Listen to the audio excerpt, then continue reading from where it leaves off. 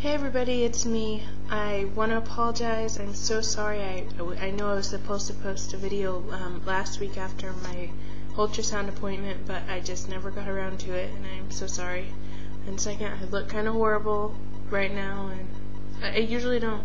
I, I usually, you know, try to look at least okay when I do these, but yeah, I don't really care right now. I've had like, uh, I don't know. I've been having a lot of dizzy spells today, and yeah, I almost fainted. So I don't know if my blood pressure is really high or really low or what exactly it is, but I'm just trying to take it easy and drink lots of water, and you know, hopefully I'll feel better tomorrow.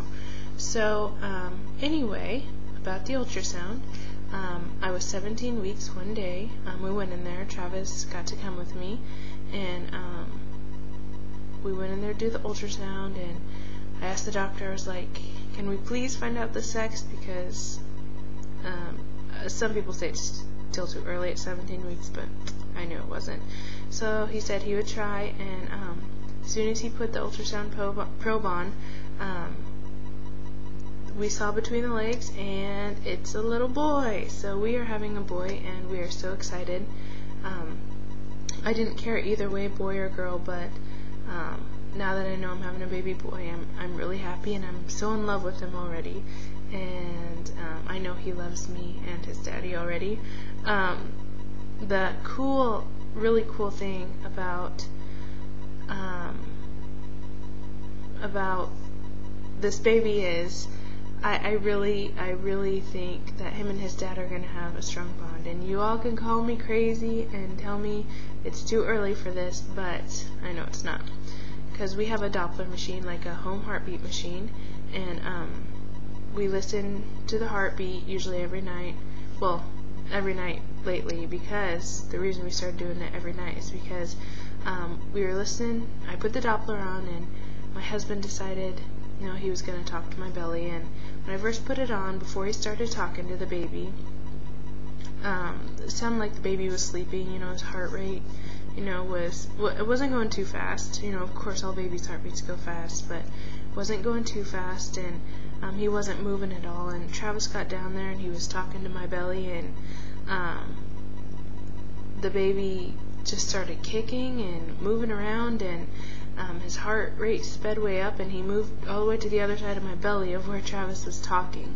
So I thought that was so cool, and um, Travis, I know at that instant, fell in love with the baby, who, by the way, we are calling Leo Aaron James. That'll be his um, first name and he'll have two middle names. And Leo's after Travis's grandfather. Aaron is my brother, and James is after my father, and then um, the baby's godfather's name is Stephen James, so also after him. So anyway, we're both excited. We're so in love with our little boy, and it's just a miracle. Um, he's been kicking more and more, and it feels like his little kicks are getting stronger. I started feeling him kick about a week and a half ago, and it's just now now I feel it every day, you know, at least a few times a day, and um, they're getting stronger. And um, just one time, I've felt a kick outside with my hand on my belly. I felt him him kick, but um, of course Travis wasn't around, so he couldn't feel it. And it's just been the one time. But I know as I get further along that um, I'll be feeling it more and more, and Travis will be able to feel it hopefully before he goes to Iraq.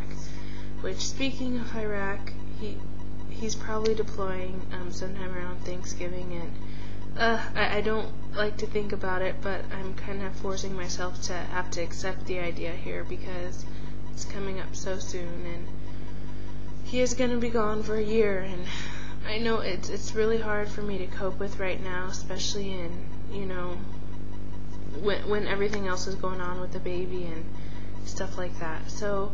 Um, I, I have been kind of forcing myself to think about it and come to terms with the idea that my husband's not going to be here.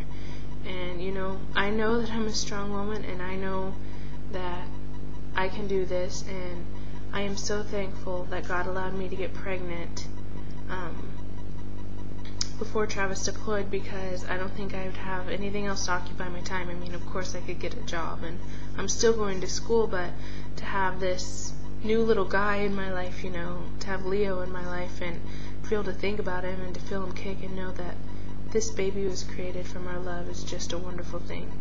So, I guess that's pretty much the update. Um, the baby's a boy. His name is going to be Leo. Um, Travis is deploying here soon.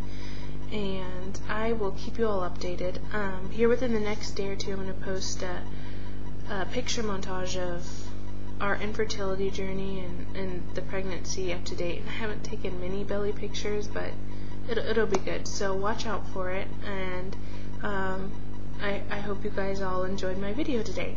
So, I'll catch you all later. Bye.